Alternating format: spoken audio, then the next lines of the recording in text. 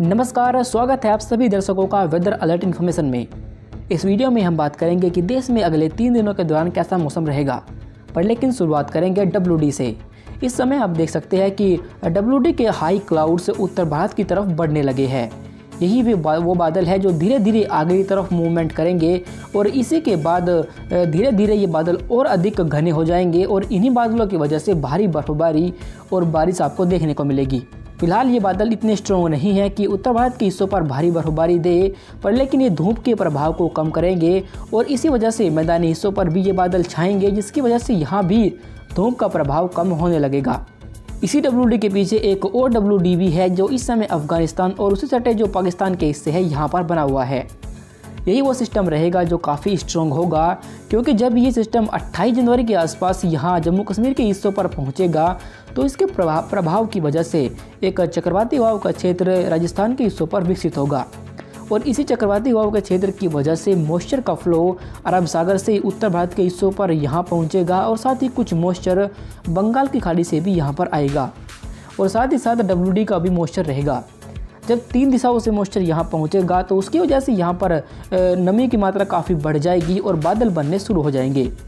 धीरे धीरे ये बादल और भी अधिक घने होते जाएँगे। फ़िलहाल इन बादलों का प्रभाव आपको सिर्फ़ जम्मू कश्मीर, हिमाचल प्रदेश और उत्तराखंड के ऊंचाई वाले हिस्सों पर ही देखने को मिलेगा। मैदानी हिस्सों पर ये बादल बारिश नहीं देंगे, बल्कि वहाँ पर धूप के प्रभाव को कम कर देंगे।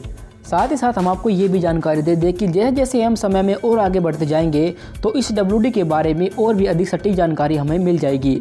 क्योंकि हमने आपको हर वीडियो में बताया है कि जो मौसम पूर्वानुमान होता है वो मैक्सिमम एक सप्ताह का ही सटीक होता है। इससे अधिक दिनों का मौसम पूर्वानुमान में चेंजेस होने की संभावना रहती है। फ़िलहाल इस डब्ल्यू का प्रभाव किन क्षेत्रों पर होगा और किन भागों पर इसकी वजह से भारी बारिश या भारी भारी बर्फबारी होगी, उस पर हम नज़र बनाए रखेंगे। फ़िलहाल आगे बढ़ते हैं और देखते हैं देश में अगले तीन दिनों के दौरान कैसा मौसम रहेगा।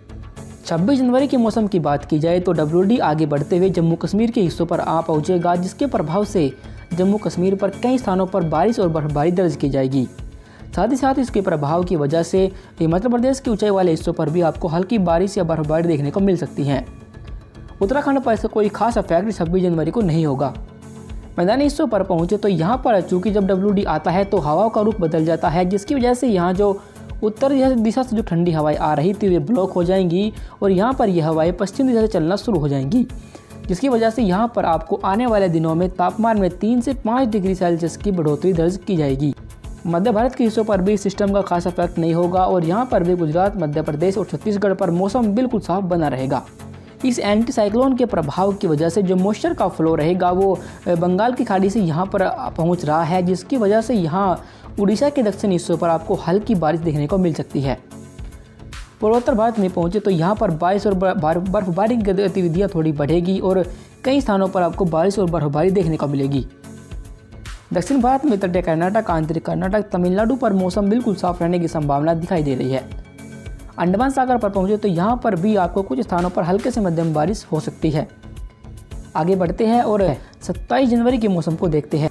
सत्ताईस जनवरी के मौसम को देखें तो डब्ल्यू थोड़ा और आगे बढ़ जाएगा और जम्मू कश्मीर के मध्य हिस्सों पर आ पहुंचेगा।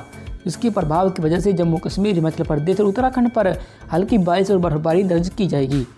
साथ ही साथ इसके पीछे एक और डब्ल्यू है, जो इस समय हमें पाकिस्तान और दूसरी साइड जो अफ़गानिस्तान के हिस्से है, यहाँ पर दिखाई दे रहा है। ये सिस्टम 28 जनवरी से मौसम को प्रभावित करना शुरू करेगा। मैदानी हिस्सों पर पहुँचे तो यहाँ पर पंजाब, हरियाणा, दिल्ली, उत्तर प्रदेश, राजस्थान, बिहार, गुजरात, मध्य प्रदेश, इन तमाम हिस्सों पर मौसम बिल्कुल साफ़ रहने की संभावना हमें सत्ताईस जनवरी को भी दिखाई दे रही है।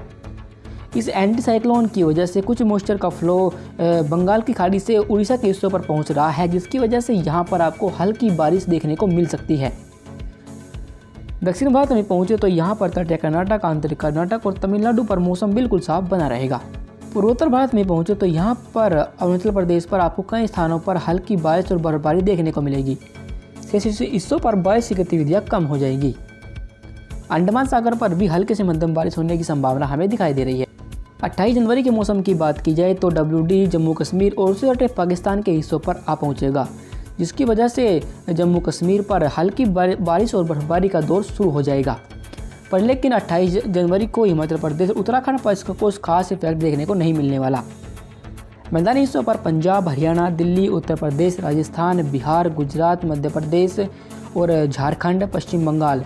इन तमाम हिस्सों पर मौसम बिल्कुल साफ़ रहने की संभावना दिखाई दे रही है चूँकि डब्ल्यू आगे की तरफ़ आएगा, जिसकी वजह से यहाँ पर जो हवाएँ उत्तर दिशा से आ रही थी, वे रुक जाएँगी और इन हवाओं, ये इन हवाओं का रुख पश्चिमी हो जाएगा।